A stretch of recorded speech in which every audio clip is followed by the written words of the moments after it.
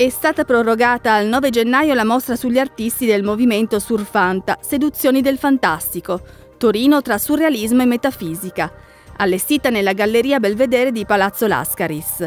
Nell'esposizione curata dal Consiglio regionale e dall'Associazione Culturale Magica Torino, una selezione di 14 opere di pittori piemontesi esponenti dell'arte fantastica. La mostra è aperta dal lunedì al venerdì dalle 10 alle 18 con ingresso gratuito.